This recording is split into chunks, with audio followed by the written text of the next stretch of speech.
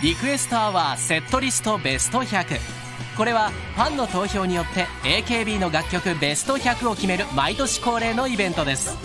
そこで問題。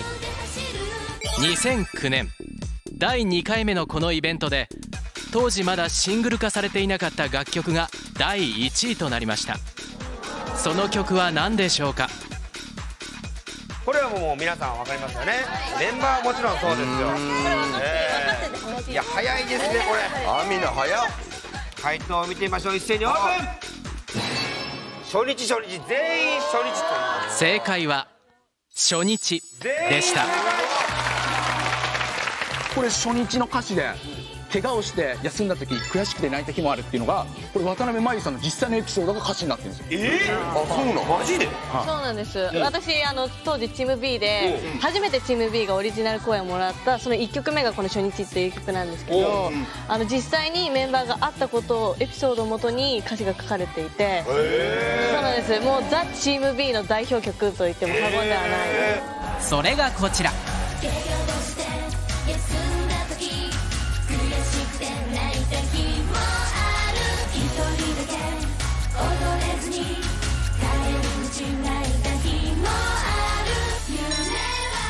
そうこの曲は当時のチーム B が初めてのオリジナル公演へと向かう初日までのエピソードや思いが歌詞となっているんです。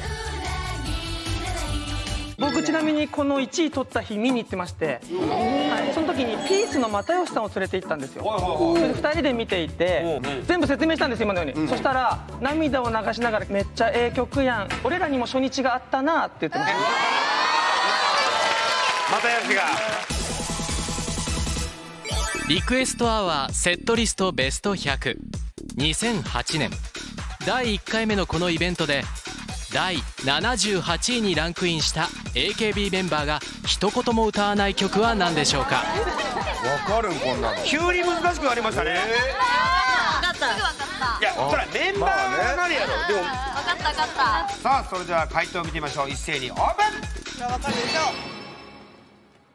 オーバーチェアオーバーチェア全員オーバーチェアですけども DJ 歌ってる人です